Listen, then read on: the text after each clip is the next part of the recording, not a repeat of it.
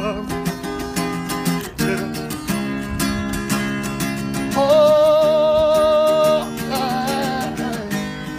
sasheshe futhi ngilosesibelelesonto i-anc is the talk of the town abantu balindele ukuthi ngabe ngabele i-anc izoyenza naliphi iqembu i-coalition singenza kwethu asinganakhuluma amagama sendidele ividiyo lapho khona umfundisi adesho khona ukuthi uma ngazi i-anc ithathe isinqumo sokuthi ihlangana ne-da lapho kuzobe kuphela kwento ekuthiwa i-a i-ANC e singenza ukuthi ngifisa ukuzwa uvo lakho lapha ne-comment section ukuthi ngabe wena ubona ukuthi ngempela i-ANC kumele ngempela ihlanganyele naliphi iqembu uzisho nezizathu zakho ukuthi why this is a tricky one i can't lie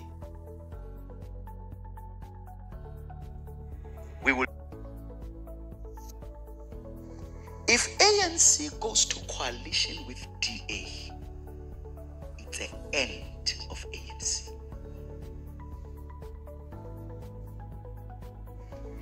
ANC goes to coalition with DA, it's the end of ANC.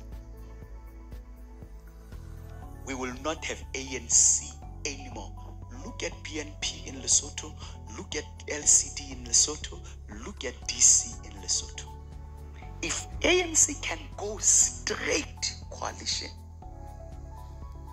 it's an end. We kick ANC